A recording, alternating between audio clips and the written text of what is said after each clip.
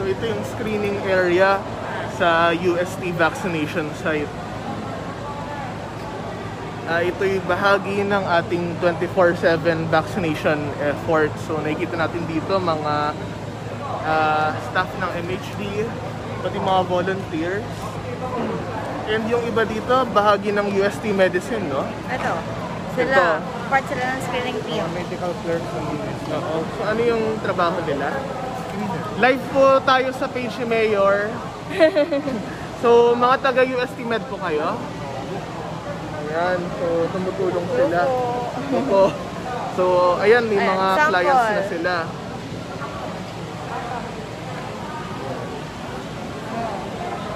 So so, sila yung mga tumutulong sa screening natin. So, thank you UST. Silip naman tayo sa ibang ano, Dito tayo. ah, tables ng mga nag-screen. So paano nga ba yung proseso dito, Faye? Para ano, 'di ba? May stop ka tapos Yes. papasok ka dito sa vaccination site.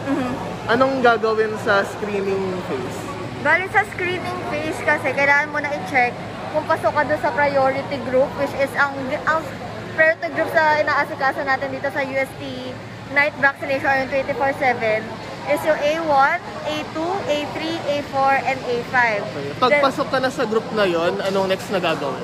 So after nun, i-screen ka, then i-check kung yung ano mo ng, yung health mo is pasok ka, i-BP ka nila.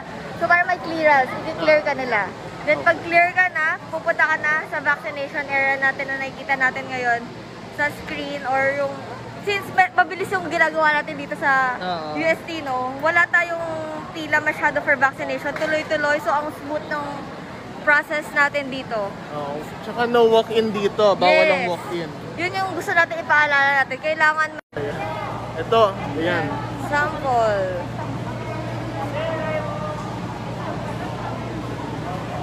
Ayan. Ayun naman pakita natin. Dito eh. Ay, Lupo. Tayo. kung babakunahan.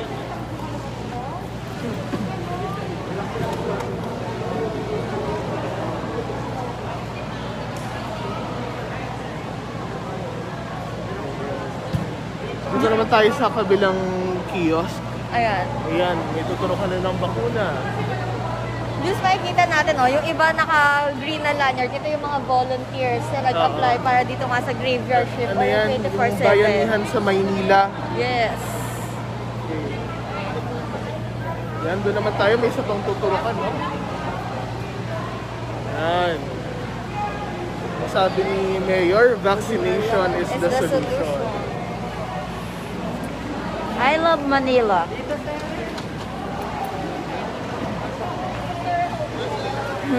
Loko. Tapos ito yung holding area. Pakita natin. Anong ginagawa natin dito sa holding area? So, dito sa holding area, may 15 minutes tayo na magstay muna dito para tingnan kung magkakaroon ba tayo ng adverse effect after natin mabakunahan. So, may monitoring team tayo from MHD and the volunteers na And nakikita nag-apply. natin sila ngayon sa live feed natin. Yes. So marami-rami to dahil yun nga mga ilang minuto kasi dapat para magstay at saka para ma-monitor kung may side effect yung bakuna. So far, wala pa naman tayo natatanggap na ulat, no? Wala naman tayong natatanggap so far. Okay. And yung sa side na yon, May, dito sila, natin- may photo ops. Oo, dito sila pwede mag-photoshoot. Ah, ano, thank you UST ha sa magandang tarpaulin design na to. yes, go Uste! Oo. Hindi, taga-UE ako eh. Proud to ba na ako? Oo. si Faye po, taga-UST yan. Yan, proud na Ayan. proud na mga Manilenyo na bakunahan kontra COVID-19. So that's it, no? Uh, let's walk through ulit bago magtapos itong live coverage natin. Balik tayo sa ating bakunahan. No? So tuloy-tuloy ito hanggang lang. sa maubos yung dosage dito na nakaalat, no? Yes, tuloy-tuloy lang to. Pero we have to remind them nga na scheduling system, no walk-in allowed dito sa UST. Pag may stub lang po tayo na natanggap mula sa barangay. Okay. Again, we would like to thank the UST for And also For the Manila. Health Department. yes. Ito, part ng A2 Priority Group. Nakakatanggap For ng bakuna citizen. mula sa lungsod ng Maynila. Okay.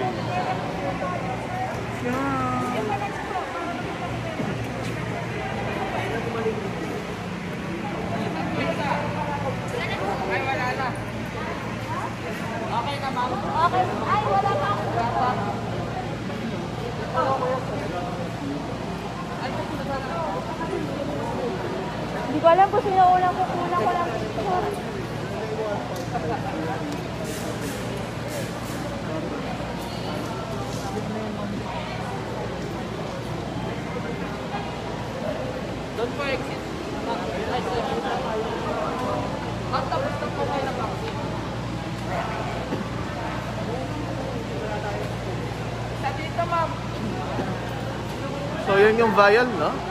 Yes. Yes, syempre maraming doses sa loob ng isang vial.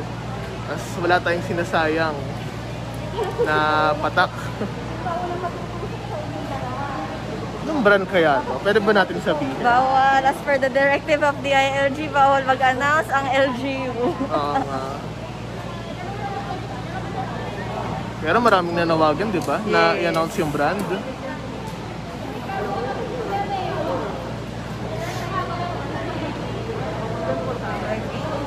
Let's go! Muscle lang tayo.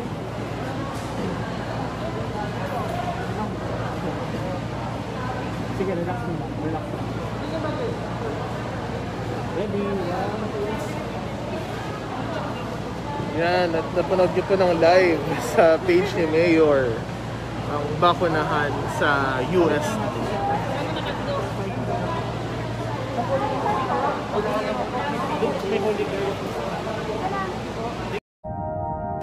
Parang isang panaginip sa sandaling pag-idlip. Lumuwag, luminaw ang kaling masikip. Kalat at dumi, niligpit at nilinis. Sa dalawang araw inalis ang bahid at dungis. Trahedya ng pandemya, gutom ang dala. Labing limang araw inahon sa ayudang kahon-kahon. Bagong ospital, mabilis tinayo para impeksyon ay mapatid. Bakuna, milyon na ang nabigyan. Walang tigil, walang tulugan. Sa bahay na pangarap, batang squatter ang tumupad. Batang basurerong nagbalik ng dignidad.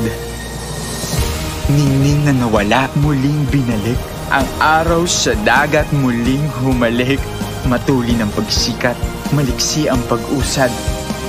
Ito na ang Maynila. Mahal nating syudad. Maynila, bilis kilos.